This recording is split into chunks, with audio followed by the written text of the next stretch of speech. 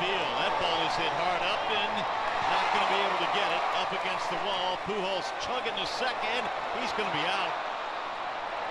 He is out by a couple of feet. Good play, Jay. Up. Keep it going.